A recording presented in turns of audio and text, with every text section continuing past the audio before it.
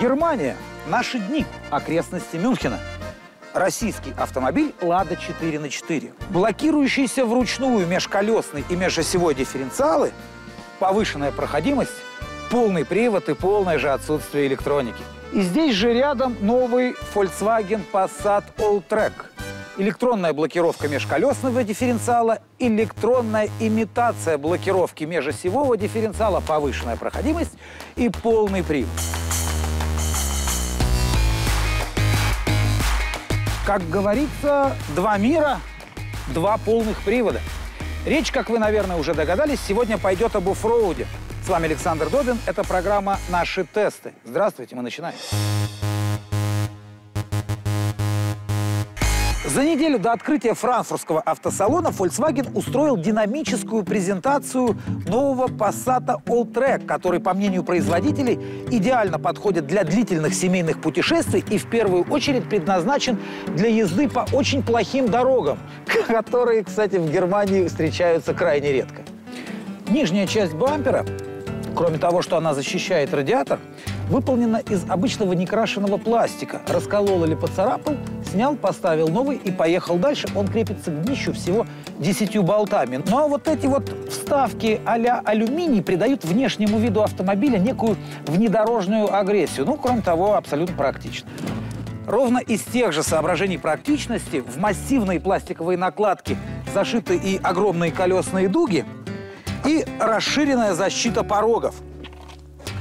Поэтому российские бордюры этой машине не очень страшны. Точно та же история и с задним бампером. Вот здесь внизу он тоже из некрашенного пластика. Остается добавить, что угол въезда олдтрека составляет 13, а угол съезда 26 градусов. При клиренсе, внимание, 176 миллиметров. Это, кстати сказать, на 26 миллиметров больше, чем у обычного Passat. Вот, собственно говоря, про кузов и все, кроме того, что это универсал. Ну, это вы и без меня. Видите, всего 3% автомобилей в России продаются с такими кузовами, но это не важно. Добро пожаловать в салон, точнее, в багажник. Это тоже одна из достопримечательностей Олтрека. Кстати, крышка багажника оснащена электроприводом. Чтобы не корячиться, заталкивая вещи в багажник, он оснащен вот такой вот передвижной на полозьях полочкой. Кладешь сюда чемодан, и она вместе с полкой плавно заезжает внутрь багажного пространства. Кстати сказать, здесь вполне комфортно может разместиться и человек. Кстати, отсюда же из багажника нажатием всего одной кнопки можно поставить и убрать фаркоп – 2200 килограмм масса прицепа, который может тянуть за собой Alltrack. Все необходимые буксировочные функции электронные имеются в качестве дополнительных опций в автомобиле. Еще одна приятная полезность – это так называемая собачья сетка.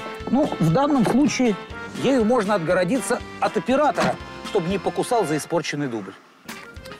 Ну и осталось посидеть за самим собой на заднем сиденье, чтобы показать вам, что представляет из себя задний диван. Вуаля! Футбольное поле отдыхает. Я не знаю, как будут чувствовать здесь мои более упитанные и более рослые коллеги, но человеку с ростом 179 сантиметров сзади очень удобно. Я могу даже вытянуть ноги. Поэтому производители не врут. Все, что касается дальних путешествий, с собакой практически идеально. Ну вот с функционалом вроде бы разобрались. Теперь нам остается самая приятная часть марлезонского балета. Это покатушки на этом полноприводном внедорожном олтреке по безобразно идеальным дорогам Германии. Ну или бездорожью, если вдруг мы его здесь найдем.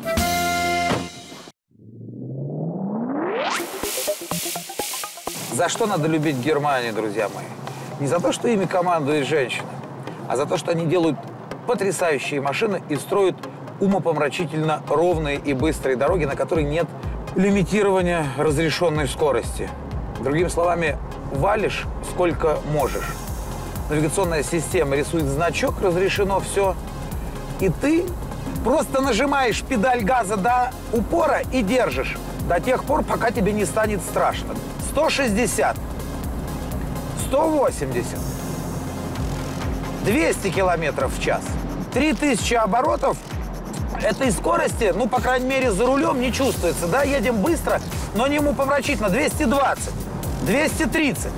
Уже тяжеловато машинке. Я думаю, что водителю просто будет страшно все время двигаться с такой скоростью. Да, слава богу, в России негде это делать, а вот в Германии, пожалуйста. Немецкая машина, немецкая дорога и совершенно русские ощущения.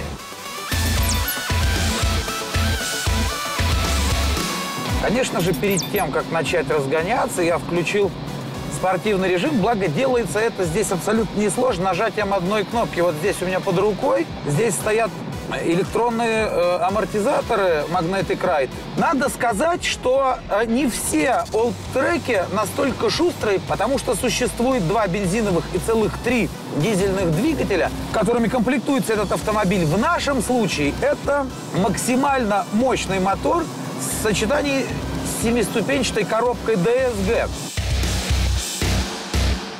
Нынешний тест-драйв проходит под девизом «Out of Office» долой из офиса или вон из офиса, э, неважно. По мнению организаторов тест-драйва и по мнению производителей, этот девиз максимально точно отражает философию этого автомобиля. В их понимании потенциальный покупатель олдтрека – это некий офисный клерк, который, замучившись сидеть за компьютером, плюнул на все, встал из-за стола, спустился на стоянку, сел в олдтрек и в деревню к тетке в глушь в Саратов. И что же он видит в автомобиле?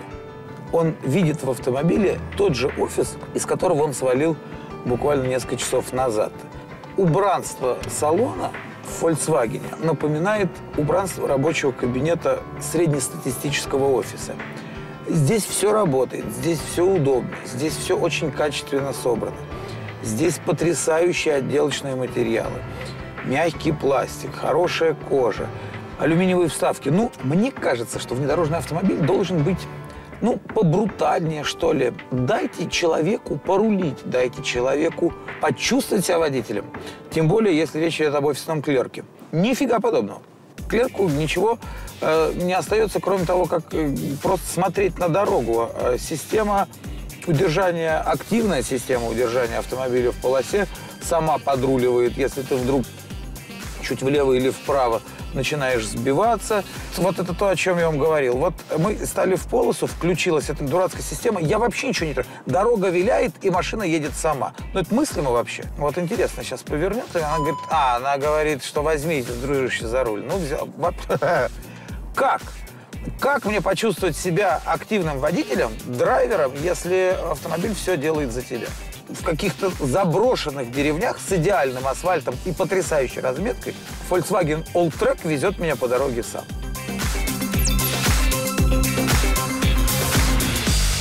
Стоит круиз-контроль. Э, Причем круиз-контроль адаптивный. Ты можешь на скорости прицепиться за впереди идущей машины, отрегулировать расстояние от своего переднего до его заднего бампера и практически перелазить на заднее сиденье и спать. Навигации тебе подсказывают, знаки машина читает.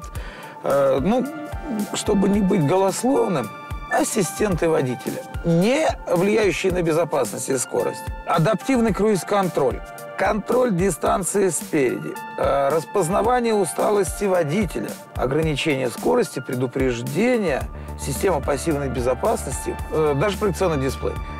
С точки зрения водителя-эгоиста, которому просто лень, ну вот лень и все, можно наслаждаться жизнью абсолютно спокойно, э, водрузив семью на заднее сиденье, там супругу посадив рядом.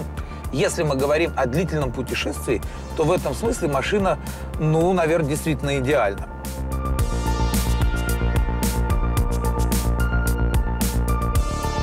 На мой взгляд, экстремальная езда или там управление внедорожным автомобилем во внедорожных условиях подразумевает некое присутствие водителя – Здесь же сделано все, чтобы водитель минимально вмешивался вообще в управление автомобиля.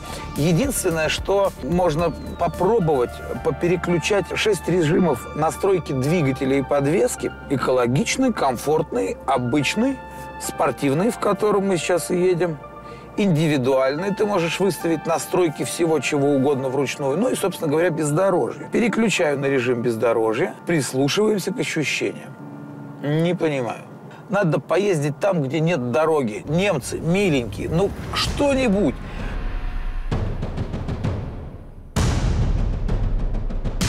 Случилось чудо. Нашли проселочную дорогу. Ну, у нас, я вам так хочу сказать, у нас в центре Рязани э, такая же дорога, как здесь проселочная. Система помощи при спуске, система поднятия на гору. Все это запущено. Поехали. Вот. Ну, я хочу сказать, машинка себя довольно вольготно чувствует.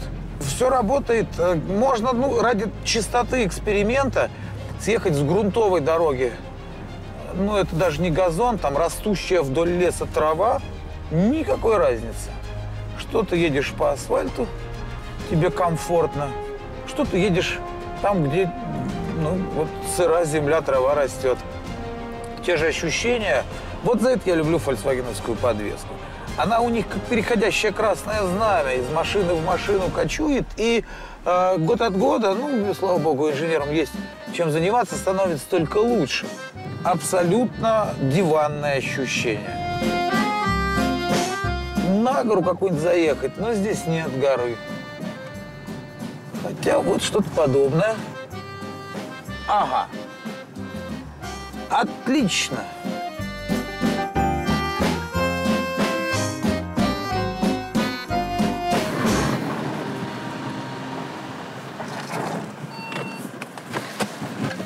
Ну вот, собственно, и все. И в завершении маленькая ложка дегтя немного о грустном.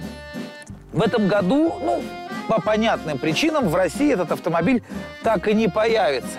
И второе. В Германии он стоит 38 550 евро. Вы можете пересчитать по текущему курсу, а какова будет российская цена, даже маркетологи Volkswagen пока сказать не берутся. Но в целом, поверьте мне, даже если вы не офисный клерк и не любите кузова универсал, машинка очень хорошая и для семейных путешествий, и для бездорожья, и для города, потому что в первую очередь вам придется ездить с работы домой и обратно. С вами был Александр Добин. Это были наши тесты и новый Volkswagen Passat Alltrack.